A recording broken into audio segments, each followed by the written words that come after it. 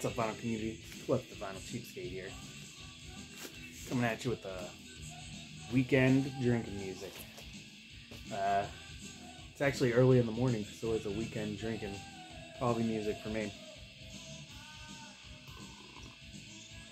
Uh, kind of slack this week. I meant to do a video on Friday, um, but I didn't.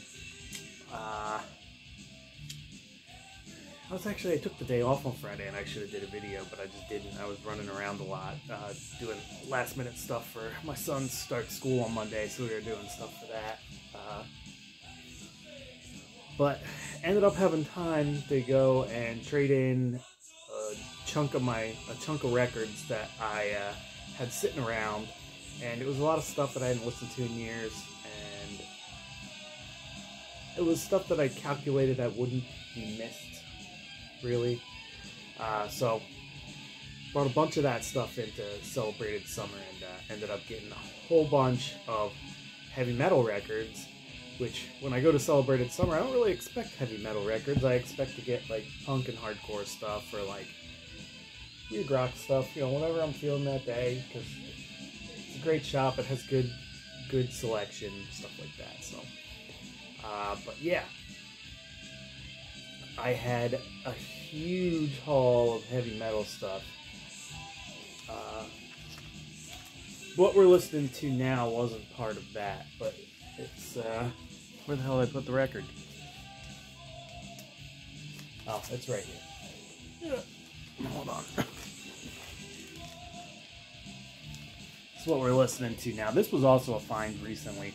Uh, I found it online for a good price. Uh, this was not a deal. This was not one of my cheap cheapskate records, but I picked up a picture of Angel Witch Frontal Assault, uh, and I'm a love me some Angel Witch, so saw this at a price that I thought was affordable, so I went for it. Uh, yeah, cool new wave of British heavy metal stuff. This is when they're kind of moving out of that sound, though. They're more straightforward traditional metal, but it's still a really good album. But yeah, I picked that up recently. But when I went to celebrated summer, they took some stuff. I got a good chunk of credit, and I went through and I found a bunch of like kind of like uh,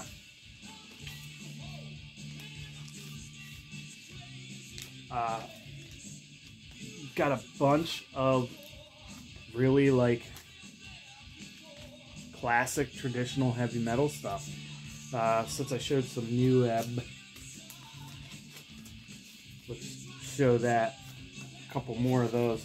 But this is all stuff that I got from Celebrated Summer, all the stuff I'm showing now. Uh, we'll show one more that's not the Celebrated Summer one. Uh, I picked this one up for pretty cheap. It was 12 bucks uh, at a shop that I visited locally recently. Uh, and I'm going to do a second part of this kind of like I found it with store credit because I traded, traded some records to them too, called Normals Books. Uh, only about 15 minutes from, but they had a really good selection of like really everything, really eclectic mix of stuff, and really well done. Like uh, really cool stuff in there. I, I ended up putting stuff back and finding more stuff, but I'll show you that one later. But Abattoir. uh, figured since I'm showing heavy metal, I'll show this. And I went in there, I picked this up. And I picked a couple other things up, which I'll put in my punk vinyl finds later. But I wanted to keep this one all heavy metal. Uh, Abattoir is like a speedy heavy metal band from California. But yeah, great stuff, man. Like, er, some like, I don't know if it's early speed metal, but it's definitely like speedy metal stuff. Uh, I think it kind of precursors thrash, but very good stuff. Yeah, I think this was the early or mid 80s. But yeah, great. Excellent stuff. This is a cool record. Uh, I saw it and I was like, oh, cool. And I thought there was going to be a big price tag on it. I was like, 12 bucks. Oh, yeah. Just went for it. And now to the stuff from Celebrated Summer. Uh, this was half trade. I paid for half trade half was paid for in trade. But there was so much good heavy metal stuff there that I actually left some stuff behind, and now I'm thinking, why didn't I get that one too? But I didn't want to spend too much, and I was trying to keep my budget below a certain amount, and I did. Uh, but yeah, let's get to it. Uh, first off, let's start off with the, the new stuff that I picked up. So some some bands that were part of the new wave of British heavy metal movement that I picked up, and it wasn't. These are nothing that's like super rare or like uh, they're not like rare records or anything, but they're just really good, solid records. Uh, picked up this Venom LP, uh, double LP set uh, from Hell to the Unknown, and I think it's just like a collection of like uh, I think it's just like a collection of like uh, some of their studio tracks and some of their like like lesser known tracks all put together. But I can't really see the track list because I gotta figure out how to fix this. And I think that's why this was it was a pretty cheap for a Venom record. It was like 15 bucks, which is pretty cheap. Uh, but this is why. There's this poster inside that it came with, and some I guess the person who doesn't look anywhere like it has water damage or anything. Like the the, the sleeve's in really good shape. It's got a little bit of splitting up here, corner, and uh, a little bit of wear on the corners. But besides that, it's in really excellent shape for how old this record is. Except for that and this. And the records are in perfect perfect shape too, but I think he put 15 bucks on it because this this poster was completely stuck in here. And I tried to peel it a little bit and it started coming apart. I'm going to spend a little more time with trying to peel it off. And it doesn't seem like it got wet ever. I think that they just stuck this poster in there and something with heat over time just made it stick to the inside. But really a cool, cool find. Uh, I like Venom a lot. And this is on the Raw Power label. And it's one black vinyl and one red vinyl. Which I don't know if this is like a hodgepodge thing or if it came out on red vinyl. Uh, but that's pretty cool. So disc Yeah, one disc is one disc is uh yeah, disc one is red and disc two is black, which is interesting uh, for that time period. I'm not sure if they got hodgepodge and they were both supposed to be red at some point. I'm gonna have to look it up on Discogs because I haven't even looked this up on Discogs yet. But yeah, can't go wrong with the OG Venom record.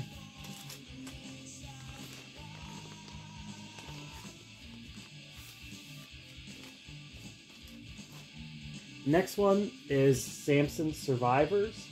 Uh, no, this is not with.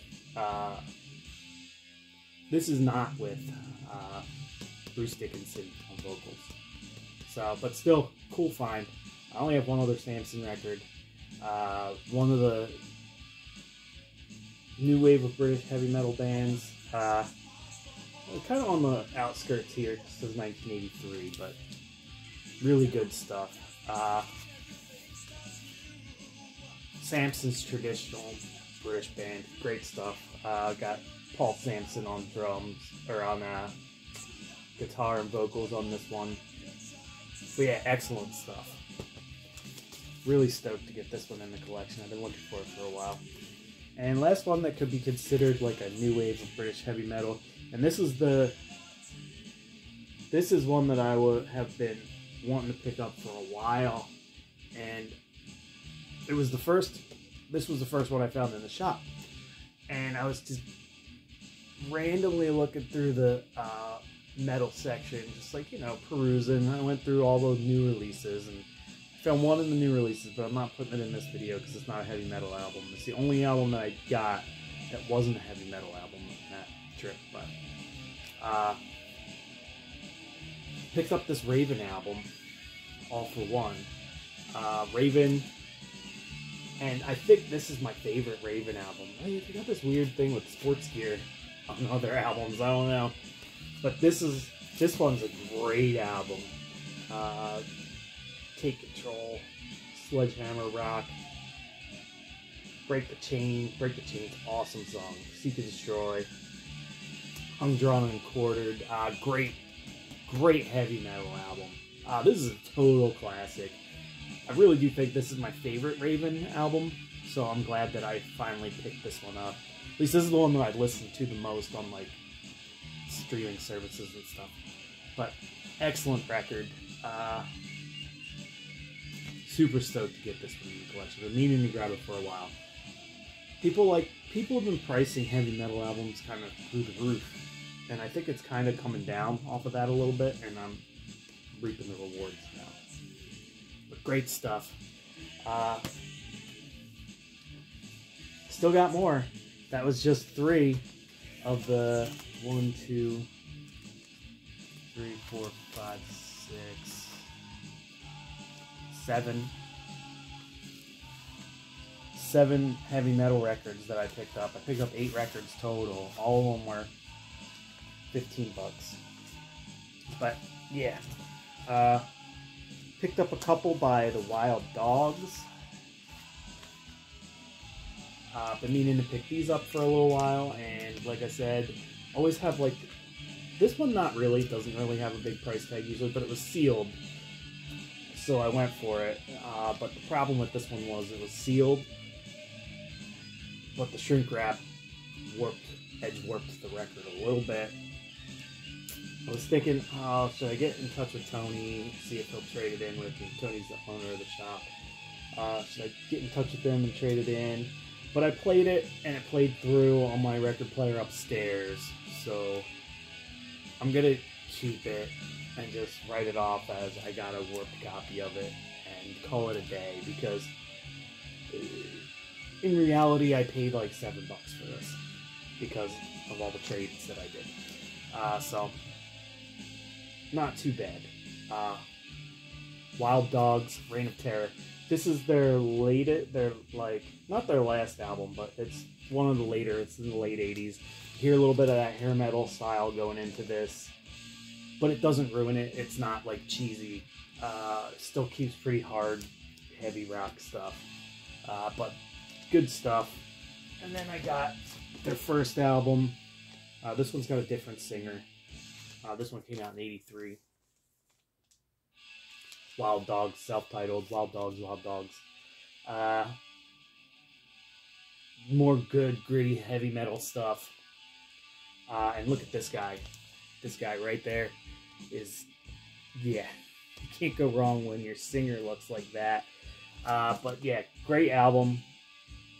Another cool heavy metal album I'm excited to dig into. Uh, next up was an album that I just discovered recently, like the last couple years, and it's another speed metal, speedy speed metal album. Uh, speed metal, heavy metal, uh, kind of got a bit of cheese in it, but that's what makes me kind of like it. Uh, that's this Doctor Mastermind. Uh, look at that outfit. but yeah, I picked up this Doctor Mastermind album. Uh, I kind of stumbled on this album like a year or so ago, two years ago. Uh, had never heard of it, but I saw that album. Co- I saw this cover pop up somewhere. This guy pop up somewhere, and I was like, I gotta check that out. And I checked it out, and it's actually really, really good. Uh, this one came out in I don't know. This is on Shrapnel Records. And it came out in I think it came out in 88. Yeah, this came out in 88. So it's like I think this may have got overlooked a bit just because of how like gouarish this guy's shoulder pads are and uh it's not really a thrash album and in 88 I think thrash was pretty big. So really like most of the metal bands were trying to do like thrashy stuff and this band kept with like a traditional speed metal sound uh, from what i remember it's close to like an exciter type thing, but uh, really good stuff. Uh, glad to picked this one up. Uh, haven't bought any heavy metal in a long time because the prices for heavy metal have been like kind of kind of bigger than I want them to be, so I've been kind of like avoiding it. But all these were pretty cheap, and I'm really glad that I picked. I found these in the wild. I found them in a shop. I didn't find them online, which is awesome because so so much stuff has been going online lately, and it's been kind of getting on my nerves. I'm getting kind of sick of like online stuff. Uh, everything's for sale online now, and it seems like even people are. Everybody's just trying to sell their stuff online, and it's kind of ruining all the physical shops and going out and leaving your house trying to shop, which I really miss that. And I think I'm going back towards going to just shops in general and just not buying things online for anything really.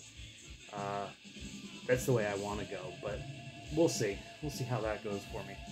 Uh, anyway, last one, definitely not least. Uh, got a uh, a uh, copy of Accept, Restless and Wild. Uh, my favorite Accept album. Uh, haven't been able to find it for a decent price online. For some reason, it seems like Accept records online have been close to 20 bucks a piece for a long time, and I finally found one that wasn't, and I was stoked. They actually had another one that I needed, and I didn't grab it. Uh, the I'm a Rebel LP by Accept, and it's also an early Accept record, but I kind of went past it, and I should have grabbed that one too. But I had had all these in my hand when I found it, and I was like, oh, I'm just gonna get the one. But now I'm thinking maybe I'll go back and see if they have it like tomorrow or something. And I know how that works out. Usually, usually it doesn't work out, but it's worth a try. Uh, but yeah, Accept uh, Restless and Wild, great, great songs. Every song on here is a banger every single one, and you can't go wrong. And this one's on CNR and the Brain label, which is pretty cool. Uh, I guess it's probably licensed from the Brain, I guess, because it's got the CNR labels on it. Like the labels on here say CNR. And it doesn't say Brain anywhere. Work produced. Yeah, I'll have to look it up. But yeah, that's my heavy metal haul for this week. Uh, I meant to, like I said, I meant to do it on Friday, but I got busy, and then the wife came home, and we ended up going out to eat, and I ended up being out all day driving Quinn, driving my son Quinn around, doing stuff. Uh, but anyway, ended up getting some time to go to the record shop on Friday, and it worked out in my favor to get in a bunch of heavy metal stuff. Uh, yeah, uh, the owner to the shop that I go to is on a bunch of live streams and stuff. Maybe I'll put a couple of those in the description down below so you can check it out. Uh, he's on the Analog Attack live stream sometimes. Uh, but super cool guy. Very talkative, uh, very informative, lots of information and good stories If you're ever in Baltimore, you should go check out Celebrated Summer Records, and uh, also check out uh, Normal's Books. Normal's Books has been around for like 33 years, so great shop too. Like it's like a library in there, book wise. If you want to books and records, like that's definitely a spot. It's got a full on record shop, but it's definitely more. I think it's more of a bookshop because there's books everywhere in that shop. Uh, huge like like a library literally like a library got different sections it's huge but yeah anyway cheers everybody. Hope you all have a good sunday. Uh hope you had a good weekend and i'll see you next week